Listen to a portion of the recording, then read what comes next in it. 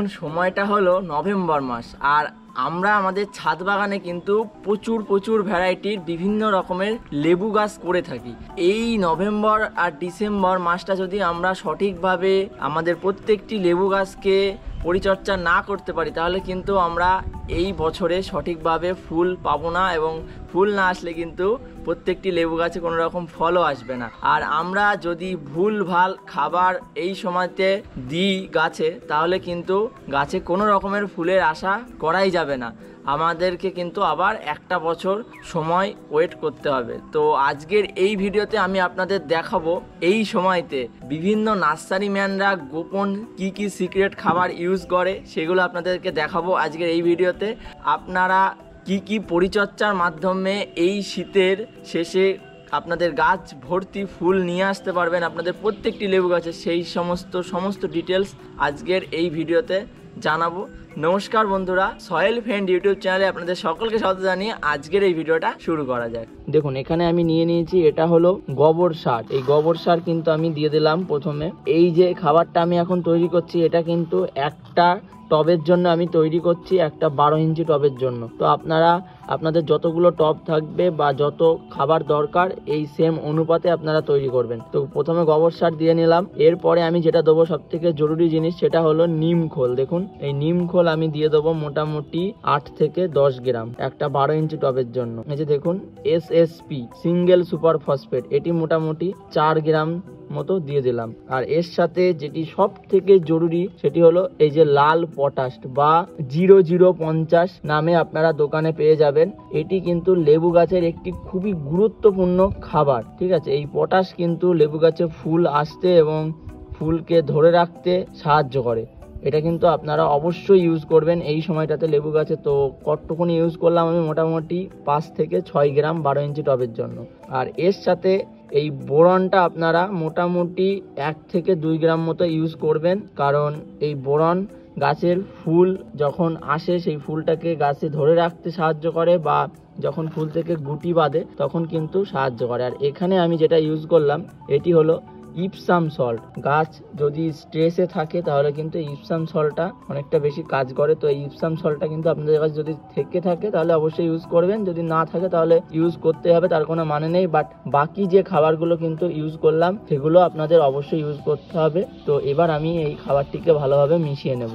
এই যে এই খাবারটা আমি প্রস্তুত করলাম, এর সাথে অবশ্যই আপনারা একটি ফাঙ্গিসাইড দেখুন, এটি হলো সাব ফাঙ্গিসাইড এটি আপনারা ইউজ করবেন। হ্যাঁ আপনাদের মনে যদি প্রশ্ন থাকে যে আমরা কি জৈব ফাঙ্গিসাইড ইউজ করব তো আমি বলব এক্ষেত্রে একদমই না। টাইকোডার্মার ভিডি যদি আপনারা এক্ষেত্রে ইউজ করেন কোনো রকম কোনো কাজ হবে না। কারণ আমরা রাসায়নিক সারের সাথে কোনো রকম জৈব ফাঙ্গিসাইড ইউজ করতে পারি না। তাই আপনারা যে কোনো রাসায়নিক ফাঙ্গিসাইড ইউজ করবেন। এর মধ্যে কিন্তু আমি কোনো রকম কোনো জৈব খাবার দিইনি। আপনারা সেটা কিন্তু ভালো মতো দেখতে পারলেন। এই খাবারটি আপনারা নভেম্বর মাসের শেষের দিকে ইউজ করতে পারেন।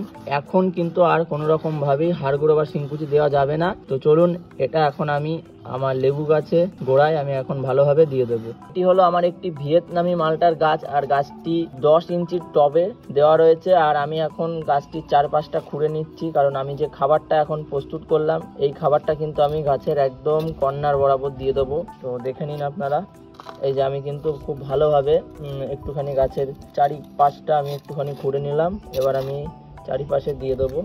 খাবারটা আমি তৈরি করেছিলাম, এই খাবারটা আমি এখন, এই যে দেখুন, গাছের একদম কোল বরাবর, একদম কিন্তু কোল বরাবর এইভাবে দিয়ে দেবো। তারপরে আমি মাটি দিয়ে ভালোভাবে চেপে দেবো। আপনারাও কিন্তু ঠিক সেমভাবে করবেন। গাছের গোড়ায় কিন্তু কোনো মতেই রাসায়নিক সার ইউজ করবেন না, সেক্ষেত্রে কিন্তু গাছের ক্ষতি হতে পারে। এইবার আমি এই মাটি দিয়ে ঢেকে দেবো। যে সারটা আমি এখন প্রয়োগ করলাম, সেই সারটিকে আমি এখন এরম ভাবে মাটি দিয়ে জাস্ট নর্মালি ঢেকে দেবো, আর কিচ্ছু করব না। আপনারাও কিন্তু ঠিক সেম প্রসেসে করবেন।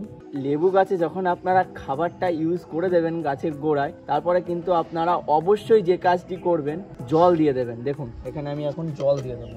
এই গাছটাতে কিন্তু আমি খাবারটা ইউজ করলাম। এবার কিন্তু আমি গাছটিকে পুরো ভালোভাবে গাছের গোড়ায় জল দিয়ে দেবো। শুধু লেবু গাছ বলে না, যে কোনো গাছে যখন আপনারা খাবার দেবেন, তারপরে কিন্তু পুরো ভালোভাবে গোড়াটিকে ভালোভাবে ভিজিয়ে দেবেন। আজকের এই ভিডিওটা খুবই ছোট, সংক্ষিপ্ত ভিডিও ছিল, কারণ এখন নভেম্বর মাস, অনেকে লেবু গাছে ভুলভাল খাবার প্রয়োগ করে। আমি কিন্তু অনেকের কাছ থেকে শুনেছি, তারা এখন হাড়গুঁড়ো শিংকুচি ইউজ করছে গাছে ফুল ফল নেওয়ার জন্য। কিন্তু আপনাদেরকে আমি সঠিকটা জানিয়ে দিলাম, এই সময় কি কি খাবার ইউজ করা উচিত। আর আপনাদের যদি মনে কোনো রকম কোনো প্রশ্ন থেকে থাকে, তাহলে অবশ্যই আমাকে কমেন্টে জানাতে পারেন। আর আপনাদের যদি বাড়িতে সুন্দর ছাদ বাগান থেকে থাকে, তাহলে আমি ডেসিশন বক্সে আমার হোয়াটসঅ্যাপ নাম্বার দিয়ে রেখেছি। আপনারা আপনাদের ছাদ বাগানের সুন্দর একটি ভিডিও করে আমাকে পাঠাবেন। আমি আপনাদের বাড়ি ভিজিট করে আমার চ্যানেলের মাধ্যমে সবাইকে দেখাবো, অবশ্যই। এরকম আরও গাছ সম্পর্কে নতুনত্ব ভিডিও এবং নার্সারি ভিজিটের ভিডিও দেখতে হলে আমার চ্যানেলটিকে এখনই সাবস্ক্রাইব করে দেবেন। দেখা হচ্ছে নেক্সট কোনো ভিডিওতে। ততক্ষণ সবাই সুস্থ থাকবেন। নমস্কার।